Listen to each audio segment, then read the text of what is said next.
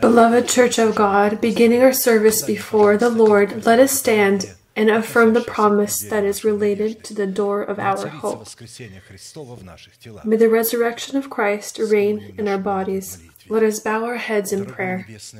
Heavenly Father, in the name of Jesus Christ, we are grateful to your holy name for this great privilege to be in this place that your hand has outlined for the worship of your holy name. And so allow your inheritance in the name of the covenant of blood to be lifted to unreachable heights to us and to break all evil and sin that binds us. May in this service be cursed as before all the works of devil, illnesses, poverty, premature death, demonic dependencies, all forms of fears, depression, destruction, covetousness, ignorance, all of this, let it depart from the tents of your holy people.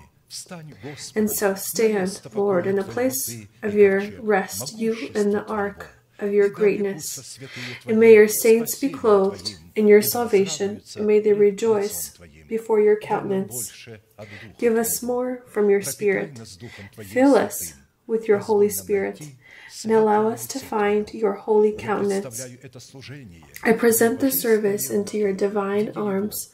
Guide it with your uplifted hand. Almighty God, Father, Son, and Holy Spirit, Amen. May the Lord bless you. You may be seated.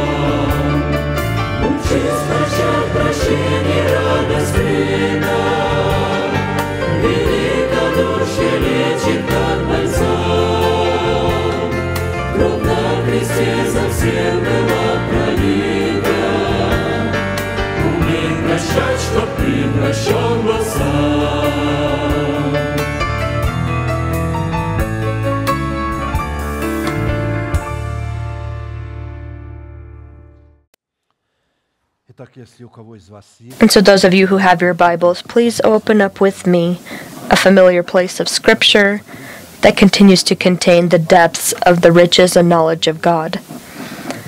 That we every time learn the deeper and the greater.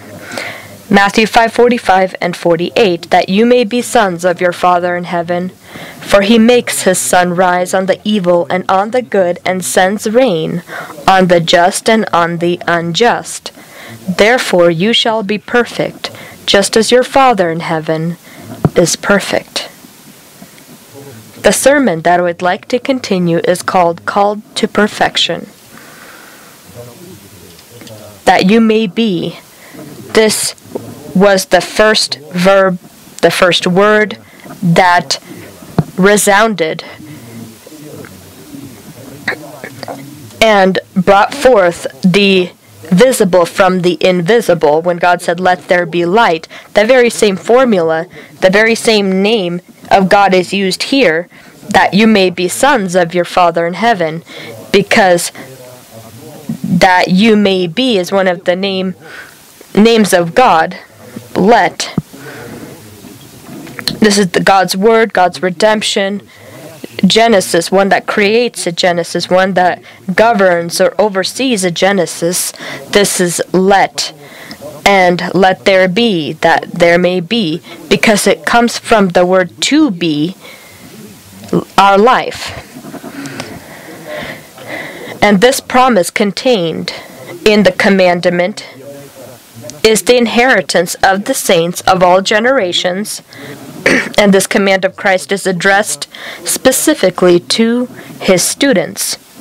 Therefore, people who do not accept God's delegated authority over themselves have no part in the inheritance that is contained in this commandment and will probably never be able to have it because the church that has been, not been formed of students is a synagogue of Satan. Relevant to fulfilling this required commandment, we stop to study the purpose of the righteousness of God in the heart of a man, specifically the goals that the righteousness of God abiding within our heart is called to pursue. And in part, we've been studying the purpose of the righteousness of God within our heart, received by us in the two broken tablets, in which we die by the law, for the law, to live for the one that died and resurrected, and by sowing, doing so, receive confirmation of our salvation in the new tablets of the covenant, in the format of the law of the Spirit of life, so that we provide God a basis to give us the promise to be heirs of peace, not by the past law, but by the righteousness of faith, like he gave it to Abraham and his seed. For the promise that he would be the heir of the world was not to Abraham or to his seed through the law, but through the righteousness of faith. Romans 4:13. We have noted that the righteousness of faith is determined by the obedience of our faith to the faith of God, which is presented in the preached word of God sent, together with the person who represents a Father of God to us. In what way that is the faith of God. Faith of God is God's preached word. This is information that comes from the mouth of God, spoken by God's delegated ones. Our faith is obedience to that word.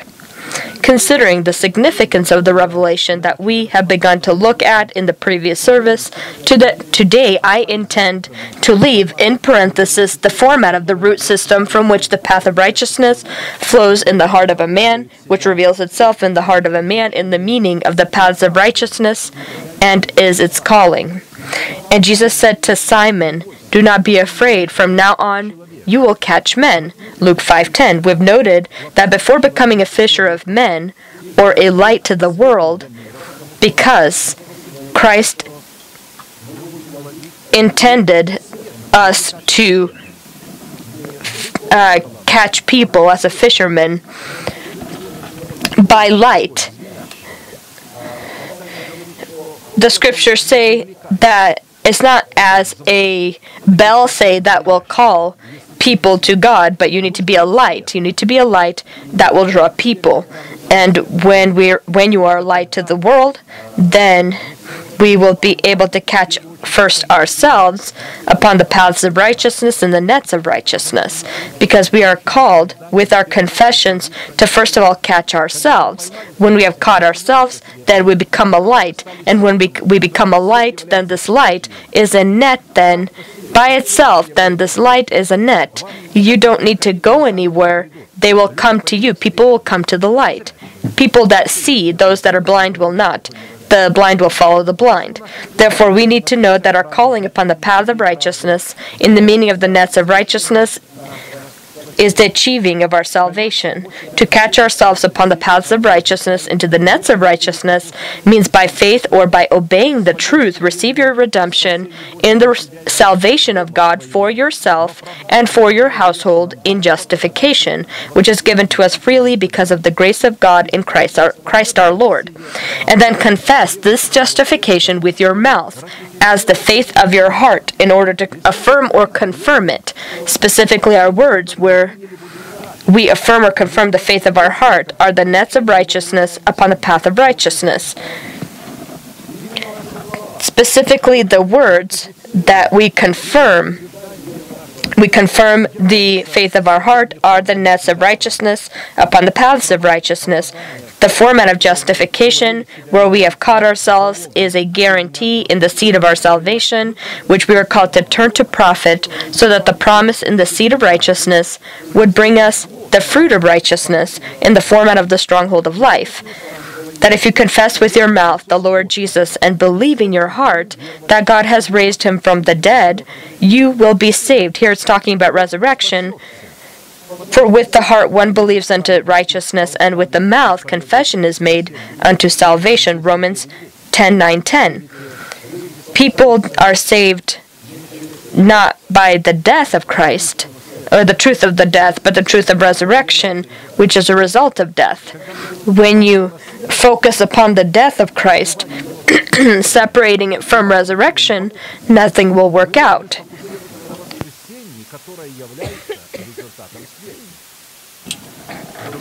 In other words, we are called to become fishermen, casting our nets to catch such fish that, that would be able to be not men, but rather the oath promises of God that are for saving our soul. Just as Christ's, Christ had said, For what profit is it to a man if he gains the whole world and loses his own soul? Or what will a man give in exchange for his soul? Matthew 16 26. And so the fact that you will draw the whole world to Christ, if it would have been possible, this will not be the price of your of the salvation of your soul. You will perish. If you place a goal of evangelism or and saving of other souls for yourself, God wanted a person to take care of his soul. And when he begins to care for his soul to and makes him a, makes it a light for the world, this light then becomes a net for the whole world. And so, to be a fisher of men, it is first necessary to become fishers of the oath promises of God, containing main goals that are placed for us by God, which consist of adopting our body by the redemption of Christ. In order to receive such promises into your heart as an element of the faith of God, it is necessary to die for your nation, the house of your father, and for your destructive desires, that we being intrigued by the spirit of deception, have received when performing the work of personal evangelism and personal good work. and we wear then as our own robe of righteousness, and we think because we did this good work, God will allow us into heaven. But God will say, You actually placed barriers to my way to the light, and not being a light yourself, you dared to preach my gospel. The light is God's gospel, God's word. We have noted that in the allegories and proverbs of Scripture, the symbol of the paths of righteousness is a stream of living water that flows from under the threshold of the temple to the east, where there is a multitude of fish presented in the form of a multitude of different promises.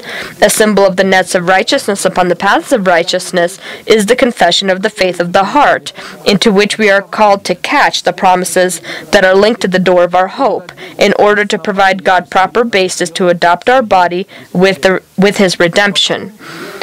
Then he brought me back to the door of the temple, and there was water flowing from under the threshold of the temple toward the east, for the front of the temple faced east. The water was flowing from under the right side of the temple south of the altar. Ezekiel 47 1. This is an incredible vision that prophet Ezekiel saw, and it is written in a couple of chapters. It and so there's a couple of chapters dedicated to the vision. He describes the temple that in no way is able to be physically built, so to say. There's no way to physically build such a thing. He was describing the temple of our body in which the Lord needs to be.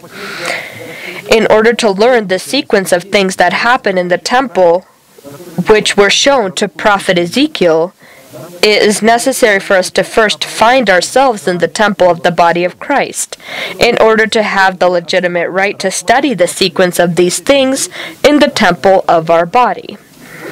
Only upon the condition of being an organic member of the body of Christ, we become a temple of God. And in order for us to find the resurrection of Christ within our body in the form of the stronghold of life, we first need to obtain Christ and find ourselves in Him or discover ourselves in Him, not with our own personal righteousness that is from the law, but with the one that is by faith in Christ, with righteousness from God by faith. In this situation, we are talking about the measure of our dedication to the goal that is placed for us by God, which consists of obtaining Christ and finding ourselves in Him, which upon practice means to enthrone the resurrection of Christ within our body and clothe our body into the resurrection of Christ. This is Christ in us and us in Christ. Before prophet Ezekiel was brought to the back to the door of the temple which faced east, he needed to see the experience see and experience a specific nature of offering of a sacrifice. Now he brought me through the entrance which was at the side of the gate into the holy chambers of the priests which faced toward the north, and there a place was situated at their extreme western end. And he said to me, This is the place where the priests shall boil the trespass offering and the sin offering, and where they shall bake the grain offering, so that they do not bring them out into the outer court to sanctify the people. And so in the Temple of Solomon and in the tabernacle, there was no such court.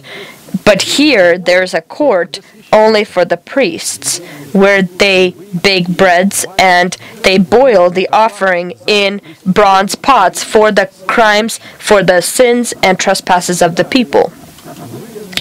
Then he brought me out into the outer court and caused me to pass by the four corners of the court. And in fact, in every corner of the court there was another court. In the four corners of the court were enclosed courts, 40 cubits long and 30 wide. All four corners were the same size. There was a row of building stones all around them, all around the four of them, and cooking hearths were made under the rows of stones all around. And he said to me, These are the kitchens where the ministers of the temple shall boil the sacrifice of the people and so the people may be sanctified. Ezekiel 46, 19 through 24. In the studied by us vision about the temple, we see a concealed process of casting off of the old man with his deeds, the process of renewing of our mind with the spirit of our mind, and the process of enthroning within our body of the new person and being clothed into this new person. And he says, He took me back to the door of the temple before bringing you to the resurrection, he brought him by the way of the cross. And now we will look at the purpose of the entryway as the, at the side of the gate that faces the north that leads to one place to the west. This is a symbol of our sanctification by the power of the truth of the blood of the cross of Christ, which pursues dedication necessary for adopting our body by the redemption of Christ. Before redeeming the body, by Christ's redemption, we need to dedicate our body, and this dedication is in the root, in these pots that a person boils the meat and eats it himself.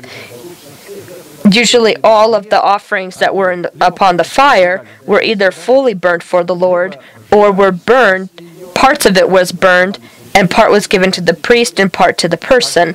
But here the entire offering is boiled for man. First for the priests, they boil for themselves, for the trespasses, and then for the entire nation. And it's a surprising offering. And so now let's look at this north. Uh, north is a symbol of making a covenant with God in our submerging by us submerging by baptism into the death of Jesus Christ. This was in the temple, in the holy place. This is the 12 showbreads upon the golden table, six uh, uh, breads in each row.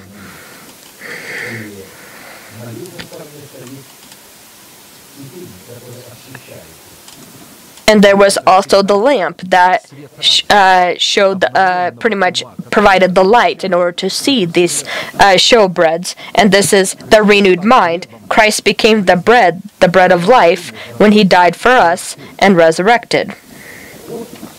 The entryway at the side of the gate facing north that leads to one place to the west is a symbol of our sanctification by the power of the truth of the blood of the cross of Christ, which pursues dedication necessary for the adopting of our body by the redemption of Christ. West, there's one place to the west. He leads by the side and leads him to one place to the west. Is this is a symbol of the end of the age, which comes right before the morning of the rule of the resurrection of Christ within our body and of course the enthroning of Christ in our body. Therefore, the place at the extreme western end is the symbol of the preparation and erection of the stronghold of life within our body, or the adoption of our body by the redemption of Christ.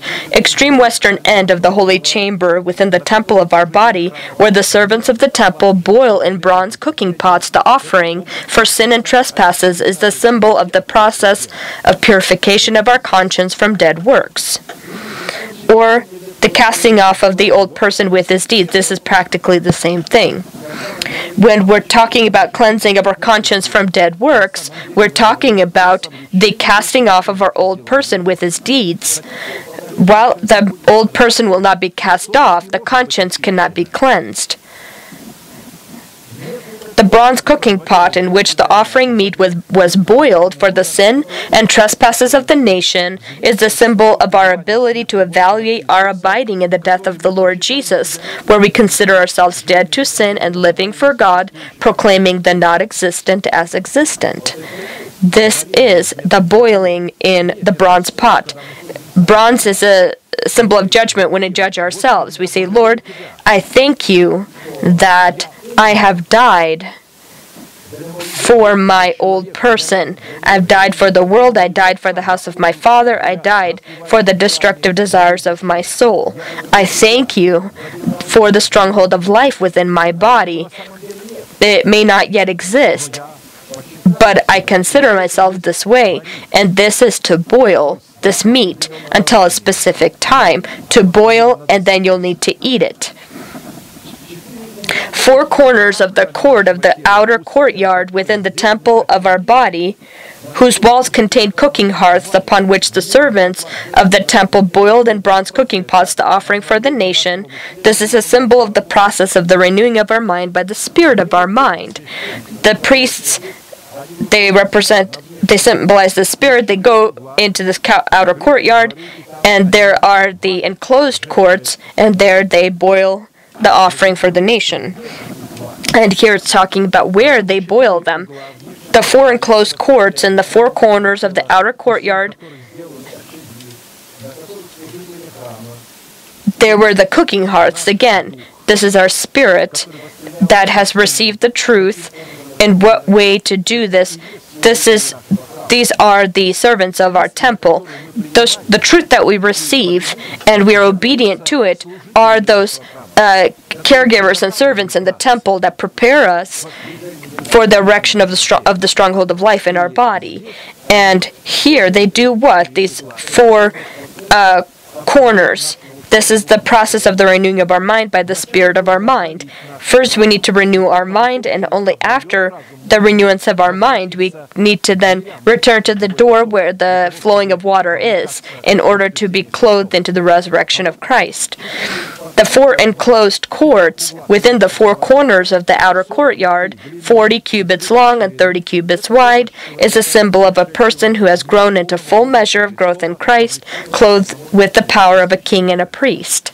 The four enclosed courts in the four corners of the outer courtyard is a symbol of the truth that we confess with our mouth in the format of the elementary teaching of Christ that is imprinted upon the two tablets of our heart. The teaching of the baptisms, laying on of the hands, resurrection of the dead, and eternal judgment. The four enclosed courts in the four corners of the outer courtyard. They represent the four rivers that flow from Eden. And who, that water are Eden, the place of our communication with God. The enclosure of the four courts within our heart is a symbol of the blood of the Most High and the shadow of the Almighty, identifying the order of theocracy in which the body of Christ functions. The measurement of the enclosed court, 40 cubits long and 30 cubits wide, is a symbol of a person that has grown into full measure of growth in Christ, satisfying the demands of total dedication and keeping the requirement of total sanctification. This is a quite important, necessary to pay attention to, and vital process, presenting the measurements of the four enclosed courts existing within the four corners of the outer courtyard. And so our process it will uh, will be literally affected the renewing of our mind by the spirit of our mind the process of enthroning within our body of our new person while simultaneously clothing our body into its new person whose foundation will be the stronghold of eternal life that is erected within our body by the resurrection of Christ. The measurement of the enclosed court 30 cubits wide is a symbol of a person that has come into full measure of fullness of growth in Christ satisfying the demands of total dedication, keeping the requirement of total sanctification, which gave a person the right and power to approach God in the status of a legitimate median. David was 30 years old when he began to reign, and he reigned 40 years. 2 Samuel 5 4. You see this enclosed court 30 cubits wide, 40 long. 30 when he became king, and 40 he reigned. Not all kings became kings at, at 30 years old. Some at 16 years, some 40, depends on when. David became king at 30 years old. Because 30 years also uh, symbolizes the virtue of a priest. A priest can only become a priest when he's 30 years old. David was a king, a priest, and a prophet. And Christ, who came as the son of David from his root. Being his root and his offspring, Jesus beginning his service was also 30 years old. Luke 3:23. And so the measurement of the enclosed courtyard, 40 cubits long, identified the power and the right of total dedication, to serve God, whose guard is holiness of total sanctification. For example, in order to separate Noah from and his sons from the unclean and lawless men that were on the earth, here we're talking about how the offering is boiled in the pot, in the bronze pot, and how long it needs to be boiling to be able to remove all the chaff of the flesh from us. In the 600th year of Noah's life, in the second month, the 17th day of the month, on that day all the fountains of the great deep were broken up, and the windows of heaven were opened. And the rain was on the earth forty days and forty nights. On the very same day, Noah and Noah's sons, Shem, Ham, and Japheth, and Noah's wife, and three wives of, the, of his sons, with them, entered the ark. Genesis 7 11 through 13. In order for God to separate the sons of Israel from the other nations, Moses was upon the mountain three times for 40 days and 40 nights, and he did not eat or drink. When I went up into the mountain to receive the tablets of the stone, the tablets of the covenant which the Lord made with you when I stayed on the mountain forty days and forty nights. I neither ate nor ate bread nor drank water, and it came to pass at the end of forty days and forty nights that the Lord gave me the two tablets of stone, the tablets of the covenant, and I looked, and behold, you had sinned against the Lord your God, had made for yourselves a molded calf. Then I took the two tablets and threw them out of my two hands and broke them before your eyes.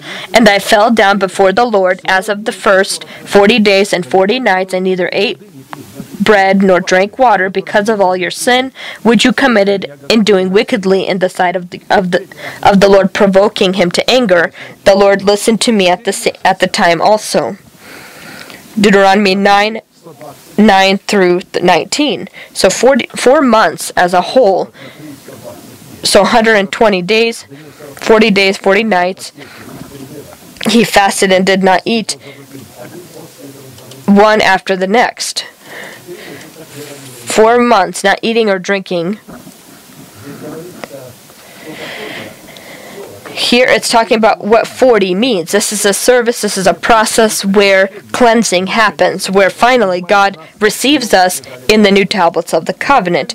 Prophet Elijah walked 40 days and 40 nights to God's mountain Horeb, and this was to confirm his dedication to God and his service, where he separated himself from the sons of Israel who abandoned the Lord and broke his altars. And the angel of the Lord came back the second time and touched him and said, Arise and eat, because the journey is too great for you. So he arose and ate and drank, and he went in the strength of the food forty days and forty nights as far as Horeb, the mountain of God. And so 40 cubits long, 30 cubits wide is talking about the service and sanctification. In order to uh, try Christ and his dedication to God and to weigh him upon the scales of justice, the Holy Spirit led him into the wilderness to be tempted by the devil, where 40 days and 40 nights in fasting, Jesus was completely victorious over the devil. The Lord will lead us in Christ, together with Christ, into the wilderness to be tried by the devil. The wilderness is a symbol of sanctification. During the time of sanctification, when a person is being sanctified, the devil especially tries to uh, tempt him. When he's not being sanctified, he has no need uh, to do this, but when a person makes a decision to part from his character, part from his nation, part with the house of his father, and begins to uh, do the work of sanctification, then the devil will attack from every side, uh, using people of the flesh, using lawless people, unclean people using the personal flesh, what using whatever your family against you, your husband, your your wife against you, your children, whatever he can, with one goal. God allows this to separate from us all of this chaff and uncleanness. Then Jesus was led by the Spirit into the wilderness to be tempted by the devil, and when he had fasted forty days and forty nights, afterwards he was hungry. And then the tempter came to him and said, If you are the Son of God, command that these stones become bread. If God is with you, then why are you in this situation? He's saying, that doesn't mean we need to fast 40 days and 40 nights, but you will begin to experience an unusual hunger and thirst. And you will wonder why, and the devil will say, Well, if you're a child of God, then why are you not able to take the Psalms, take open the Bible and read, and God will reveal to you. Here's what it's talking about. But Jesus said, But he answered and said, It was written, Man shall not live by bread alone, but by every word that proceeds from the mouth of God. The heard word not what you will be reading, but what you will listen to. Many holy people attempting to be sanctified uh, focus on reading the Bible uh, and pretty much putting away the listening of the word. They make the decision just to read, and when they come to church, their understanding then is not in course corresponding to what is being preached, and they begin to say, Well, I don't agree with this, I have my own head. Jesus said, A person can live by every word that proceeds from the mouth of God. The heard word, it needs to come from the mouth. But all of the words that come out of the mouth of God, we don't hear them directly from God's mouth because God has made his mouth his people. Not everyone in general, but those people whom he has made a father that have the seed, and the waters who preach that same seed in the spirit. Those are the ones he made his mouth. And then the devil took him up into the holy city, set him on the pinnacle of the temple, and said to him, If you are the Son of God, throw yourself down. For it is written, He shall give his angels charge over you, and in their hand they shall bear you up, lest you dash your foot against a stone. Jesus said to him, It is written again, You shall not tempt the Lord your God. Again, when you are being sanctified, the time of sanctification, God will prompt you to uh, things that are as if faith, uh, part, part of your faith. Begin and start acting. And a person begins acting. He takes what truly belongs to him, but the time has not come, as Moses did. The time had not yet come, but he already stood up because God's promise was on him, and he knew that he needed to somehow save the Israelite nation from Egyptian slavery. And he began, but in his own way, see what his ways were. He not having any uh, power, just an understanding that God gave him this calling, not seeing yet in this calling the required things that he needed, he begins with his own hands. He sees one uh, a Jew with an Egyptian were uh, uh, the Egyptian was uh, hating the, the Jew and he killed that Egyptian. And then he saw two Jews arguing and he tried to in, inter, intervene and they were asking, Who are you? Do you want to kill me like you did the Egyptian earlier?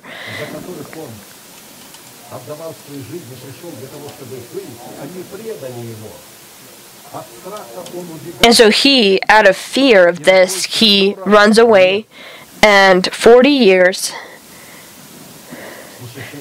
he is living with the priest of Midian, marrying his daughter. And only after 40 years,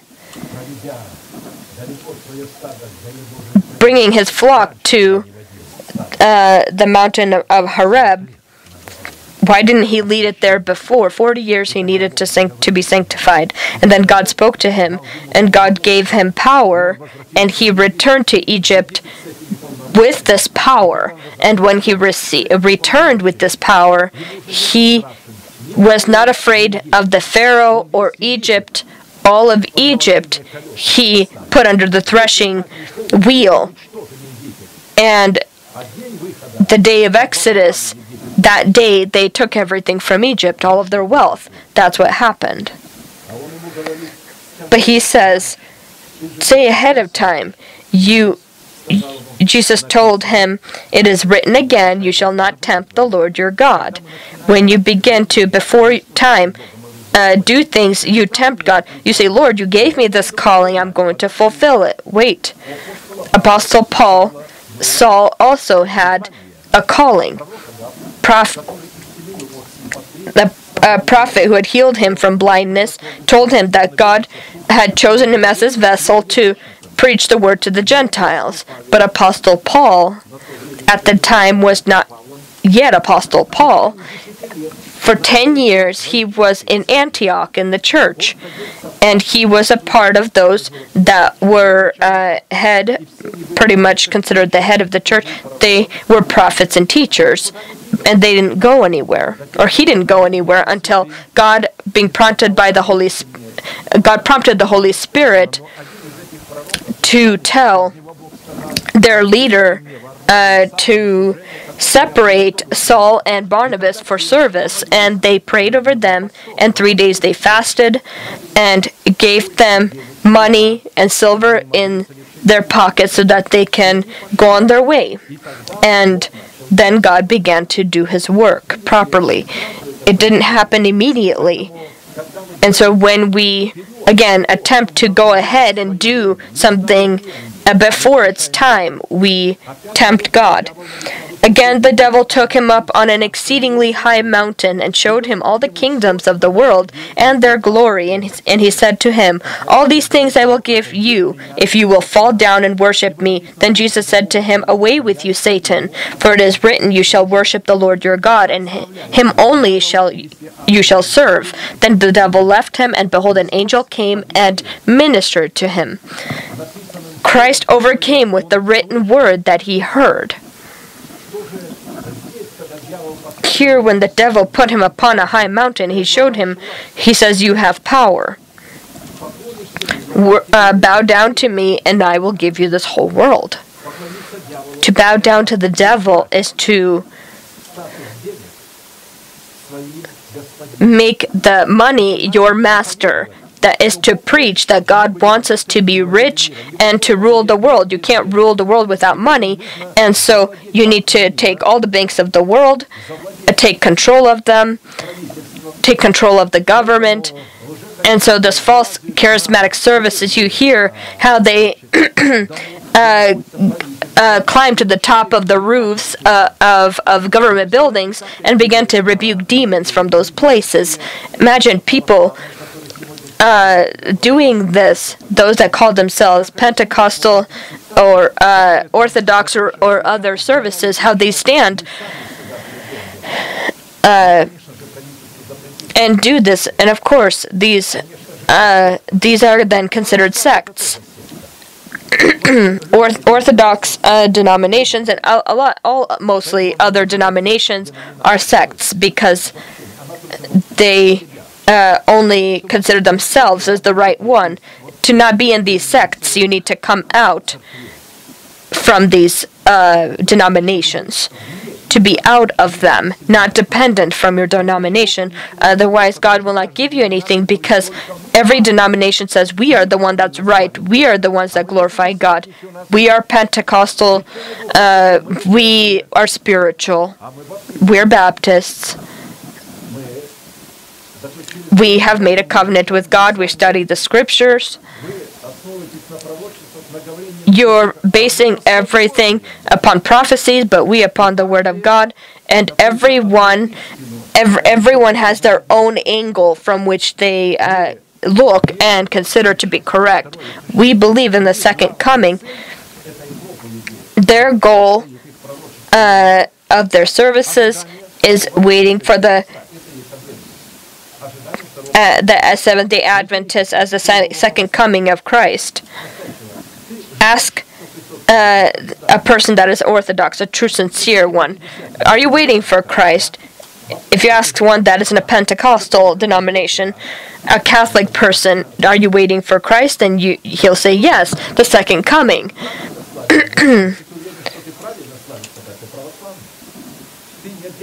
Do you not separate yourself from the unity of faith? Then you're a Catholic. Are you baptized in the name of Jesus? Yes, then you're a Baptist also. Do you speak in tongues? Have you received baptism?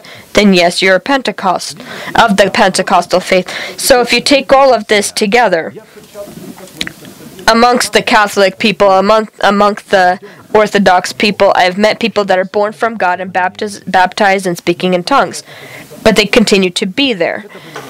These were monks as well as priests that understand that the temple that is filled with icons are idols. They remained there, but they were of the of they were sincere in their faith, and not understanding these people. This monk, uh, not understanding, asked him a question: "Why don't you leave?" And he said, "If I leave, I won't fulfill my purpose here. I want to lead the people out from this, and that's why I preach to them." We have our cell groups, and in these cell groups, we gather, we sing the same psalms that you sing, we pray just like you pray on, on our knees, and God baptizes us by the Holy Spirit just as you. And I said, interesting. And suddenly, from Moscow, Moscow a pair came to us, or came here. Uh, they were from the Pentecostal uh, faith, as they called. Uh, they talked about how they repented.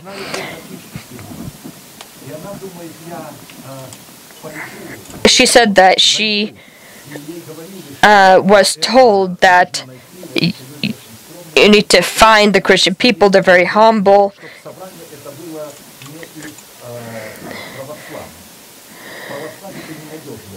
They were she was told that if you go to the Orthodox church, you will not find God. And so she says, I saw a woman that uh, she had a covered head. She looked humble. I came to her and asked her, Can I ask you a question? She said, Yes.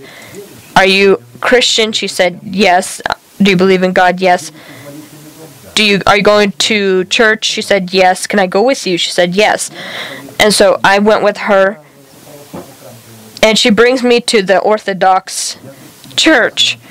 I became uncomfortable. I didn't say anything. I came in with her she stood she began to pray uh, and she was praying in some other language uh, she says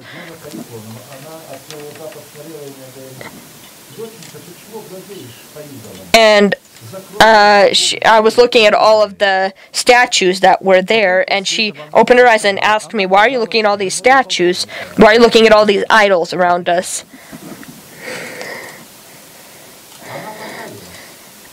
And so she ultimately repented, and she came here, and she received baptism and speaking in tongues.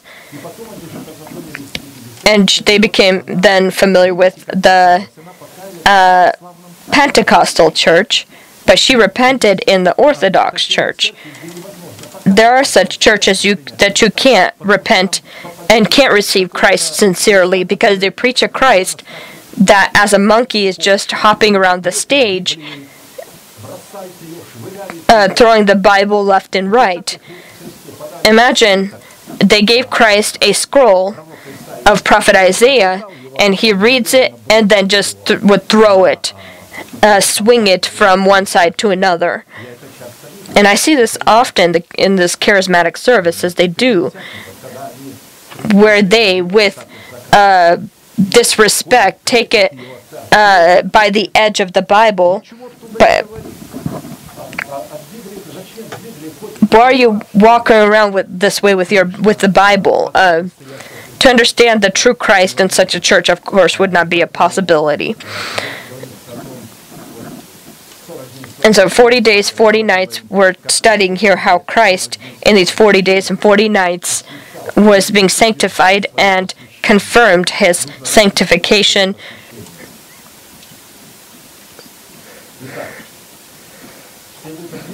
We need to note again that the vision of the temple that the prophet saw was unique in that the temple of Solomon had only one door into the entry of the temple. This had two gates from every side and also face toward the east.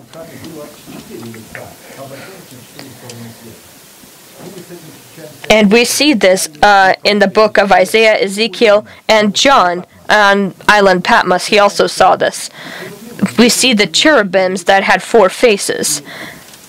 And their faces, the eagle, the human, the young bull, and the cherubim. And so we see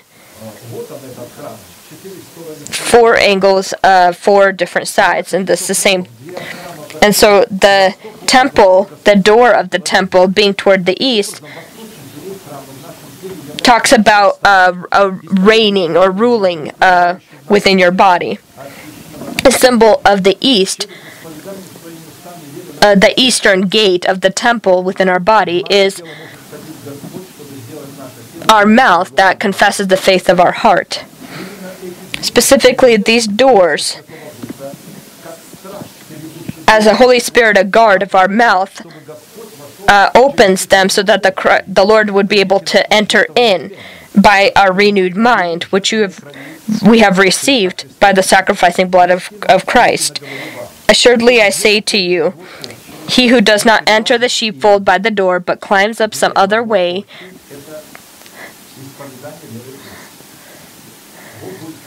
The sheepfold is the confession of your mouth. God will enter by the confessions of your mouth.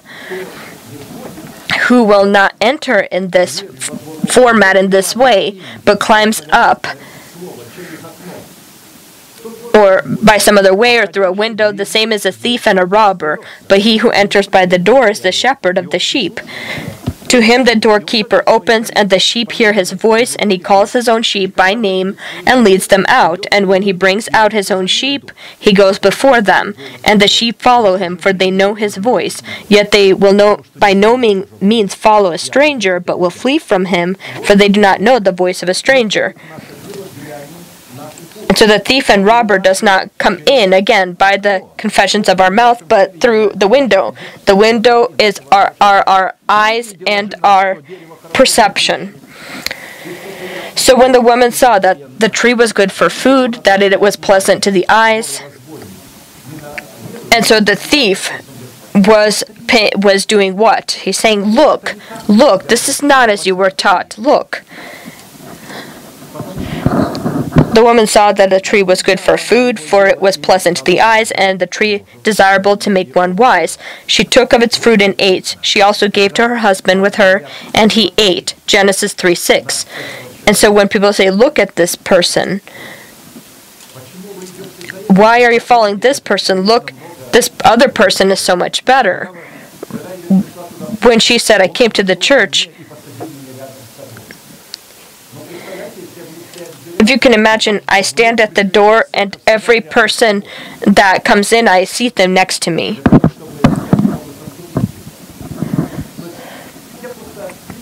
I'm just bringing forth examples. Uh, when the Lord enters into our body through the door of our mouth, and our body becomes his house, then the thief and robber uh, using objects of temptation will never be able to come in. He comes in only when the Lord is not there. When the Lord is there, he will not be able to enter through the window. The offering that was boiled upon the bronze in the bronze pot is our abiding in the death of the Lord Jesus Christ. The state gives God the proper basis to destroy the temple within our body and destroy the stronghold of death that he relies on. Specifically, by the offering of praise, our mouth, which is the door of, of the temple of our body, that confesses his faith, we present our members as tools of righteousness, which allows God the proper basis to erect within our body the stronghold of the resurrection of Christ and uh, reveal himself in us in the resurrection of Christ.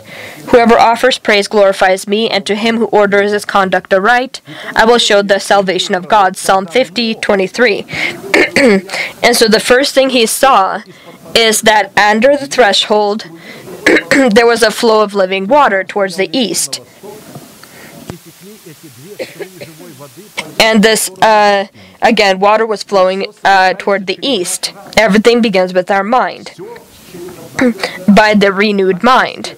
These Tarshish ships, they're the ones that bring our uh, confessions. Here, our confessions are formed. The symbol of the threshold of the temple of our body is the symbol of our humility that's demonstrated in the obedience of the preached word spoken by God's uh, person or God's Father. This is acknowledging God's authority over ourselves, the person whom God has placed over us. In our heart, we have our priest, and it's a symbol of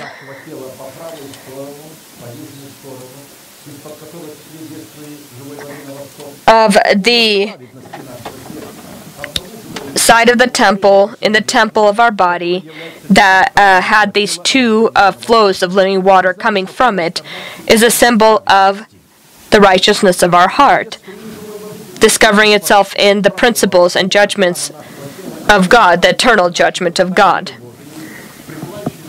The two flows of living water that flow from under the threshold of the temple is a confession of our mouth the faith of God that abides within our heart in the form of the Urim and the Thummim, the Holy Spirit and the Word of God. These are the two great witnesses that stand before the God of all the earth. The uh, south side of the offering,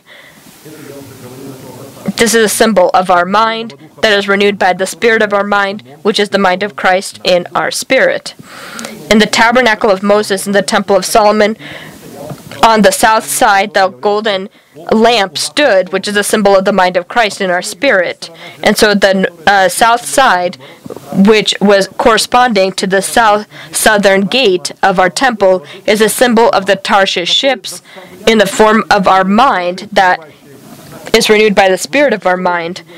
And they bring forth these confessions of the faith of God that abide within our heart to the just judgments that we confess, the place to confess uh, the truth that will allow us to meet the Lord in the air.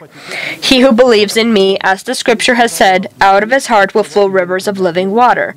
But this he spoke concerning the Spirit, whom those believing in him would receive. For the Holy Spirit was not yet given, because Jesus was not yet glorified. John 7 38 39. The second thing that he saw was that the man led him in the inner temple. He brought him in through the eastern side and brought him out uh, the western uh, on the western end. The symbol of the northern gate of the temple in our body is the truth that is in the heart. These are these 12 showbreads that are at the table uh, the golden table in the temple that are a sign of the covenant that we have with God. Because the two rows one next to the other is the confirmed co- uh, covenant. When God gave his covenant on Sinai, only after a specific time, a couple of years still needed to pass. Uh, when Joshua, not Moses, but already Joshua, would lead the people into the promised uh, land, when he would lead them through the Jordan. And upon the two mountains, they confirmed this covenant. Any covenant that is not confirmed will lose its power. Any promise that is not confirmed will lose its power. Salvation that is not confirmed will lose its power.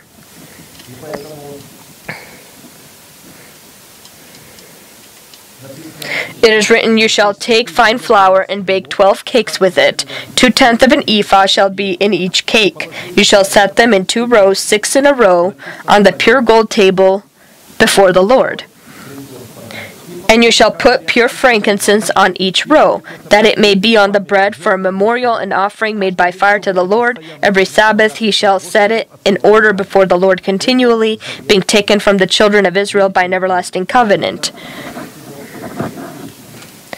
And it shall be for Aaron and his sons, and they shall eat it in a holy place, for it is most holy to him, from the offering of the Lord made by fire by a perpetual statute.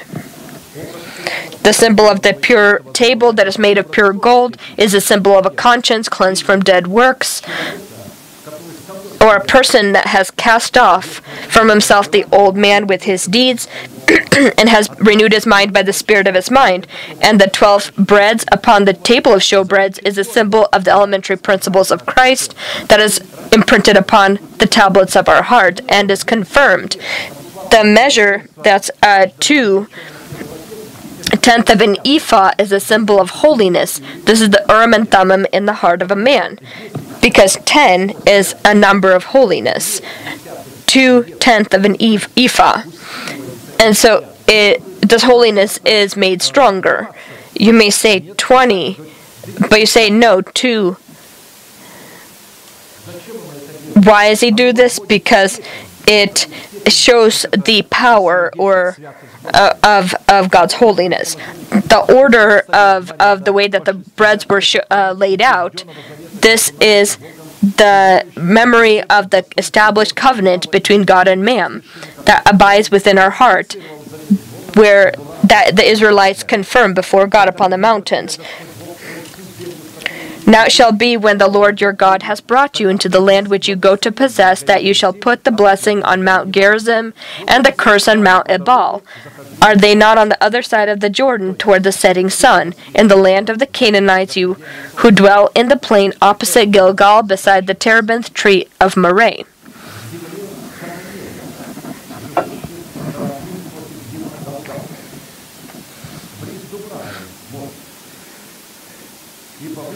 For you will cross over the Jordan and go in to possess the land which the Lord your God is giving you. You will possess it and dwell in it. You shall be careful to observe all the statutes and judgments which I set before you today. The symbol of the pure frankincense upon the breads is a symbol of the abiding in our heart fragrance of Christ that is confirmed by the that confirms the covenant God has made with uh, with man. And the result of this pure frankincense upon the breads in the heart of a man is that he will not peddle the word of God as many do amongst the nation of God, due to their ignorance and fame and greed. Now thanks be to God who always leads us in triumph in Christ and through us diffuses the fragrance of his knowledge in every place. For we are to God the fragrance of Christ among those who are being saved and among those who are perishing. To the one we are the aroma of death leading to death, and to the other the aroma of life leading to life. And who is di- sufficient for these things? For we are not as so many peddling the word of God, but as of sincerity, but as from God we speak in the sight of God in Christ. 2 Corinthians 2 14 through 17. The third thing he saw was that the man uh, who who was showing him, he went to the west and he had a measuring line in his hand. He went to the east and he had a measuring line again in his hand. And so the man, again, that was showing him the vision of the temple led him by these living waters to the depths. And in this vision, God showed to him the way, the resurrection of the Lord Jesus. God will receive the proper basis to erect within our body the stronghold of life when the man went out to the east with the line in his hand and measured 1,000 cubits, and he brought me through the waters, the water came up to my ankles. Again he measured 1,000 and brought me through the waters, the water came up to my knees. Again he measured 1,000 and brought me through, the water came up to my waist. Again he measured 1,000, and it was a river that I could not cross, for the water was too deep, water in which one must swim, a river that could not be crossed. He said to me, Son of man, have you seen this? Then he brought me and returned me to the bank of the river. Ezekiel 47, 3 through 6. Considering that we're studying this holy allegory as the temple of our body, I'll remind us that the two streams are the movement of the faith of God that abides within our heart, that is called by the power of the Urim and Thummim to erect the stronghold of life in our body. I will ransom them from the power of the grave. I will redeem them from death. O death, I will be your plague. O grave, I will be your destruction. Pity is hidden from my eyes. Hosea 13:14. In Scripture, the symbol of bronze is the ability to weigh yourself upon the scales of justice in order to examine your faith and judge yourself in accordance to the demands of the commandments and statutes of the Lord. The symbol of the man that had the look of bronze in whose hand was this uh, line is a symbol of our new person that has obtained the rock of the Lord or the quality of a rock of the Lord to examine and is examined.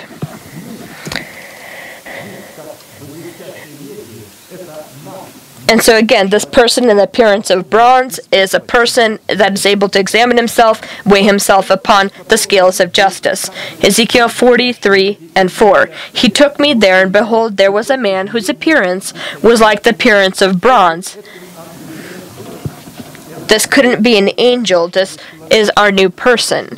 Because for, for the angels, God did not give his life. But flax is a symbol, again, of death and resurrection. He had a line of flax and a measuring rod in his hand, and he stood in the gateway. And the man said to me, Son of man, look with your eyes and hear with your ears, and fix your mind on everything I show you. For you were brought here so that I might show them to you. Declare to the house of Israel everything you see. Ezekiel 40. 3 4. It's important for us to understand these things. We need to see God's work, hear it, and see it. Christ said, You will not believe if you will not see. To hear and see. And so the flax uh, line is the ability that discovers or reveals in our heart the truth of the resurrection of Christ. Flax is a result of death that is sown in that is sown in death. This is that uh, plant from which you you make uh, the holy garments and are very much valued. In the period of the law of Moses, a robe from flax was holy and was a separate garment only for priests, without which they were not able to, to enter the temple in order to approach God.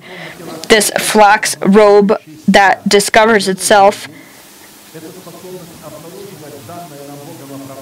upon the priest is the ability to see yourself in the justification of God, in the resurrection of the Son of God, who was delivered because of our offenses and was raised because of our justification, Romans 4:25. So this measuring wreath or this line is our ability to uh, measure our own uh, focus uh, in the house of God, how much we are focusing upon the commands and the commandments of God.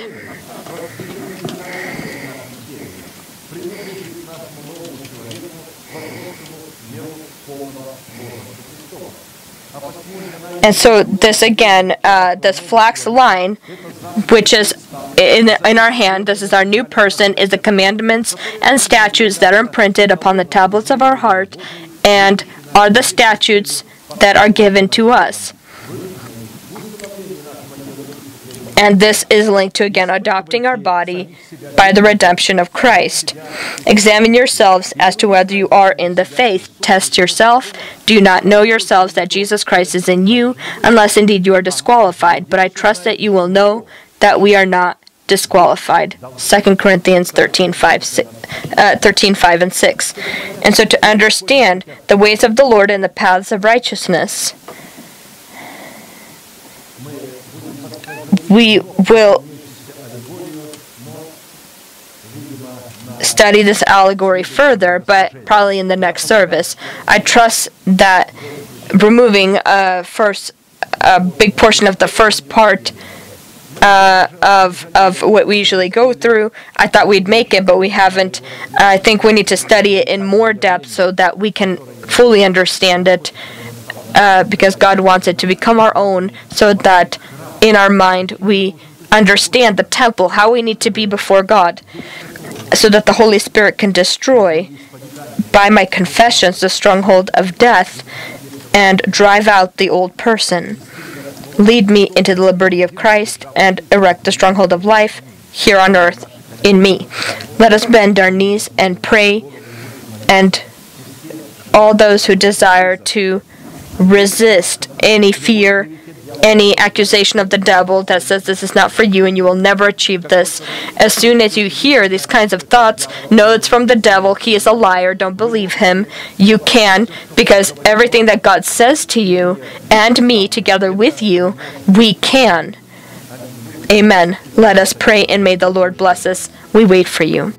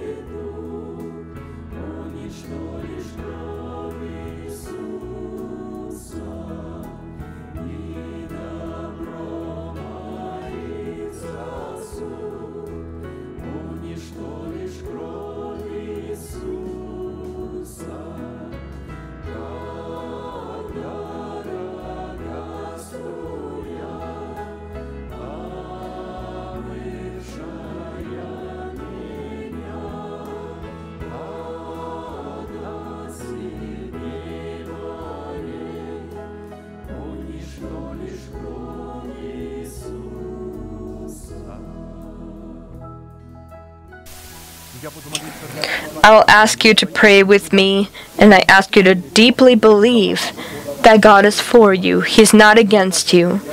Close your eyes. This is your secret room. Lift your hands to heaven. Heavenly Father, in the name of Jesus Christ, I come to you. I open up my heart. I confess my sins. I confess my dependence from the old person. I hate this dependence. I suffer from it. I struggle. I pray. Deliver me from my old person. Deliver me from my enemy that is stronger than I. I believe in your word. I believe in your truth. I believe in the Holy Spirit. Hear me. Deliver me from my shame. Wash my sins away. Draw me up upon this rock that I cannot reach. Erect in me the stronghold of life that I've received by faith into my heart and carry it as something very sacred to me. I thank you for this holy thing in Jesus Christ. And right now, before heaven and hell, I want to proclaim that in accordance to your words, I am washed, I am cleansed, I am healed, I am restored, I am justified, and I am saved. Your sins are forgiven, and your trespasses in the name of Jesus Christ. May the Lord bless you. May he look upon you with his great face and show you mercy and give you peace. May thousands and ten thousands attempt to come near you, but they won't touch you. May all of the blessings of the ancient mountains and everlasting hills be on you and upon your children, and be fulfilled upon you, and the nation shall say, Amen. Blessed is the God who is vigilant over his word in the temple of our body, so that this word be fulfilled. For there is nothing that God cannot fulfill. Every single word, every single letter he will fulfill. Keep what you hear in your heart by confessing it with your mouth, so that God can take these confessions and keep you until the time when he will do the great work in you and will deliver you from your old person and will er- erect the stronghold of life in you. And this will be your guarantee to meet the Lord in the air. Let us proclaim our unchanging manifestation. Now to him who is able to keep you from stumbling and to present you faultless before the presence of his glory with exceeding joy, to God our Savior, who alone is wise, be glory and majesty, dominion and power, both now and forever. Amen.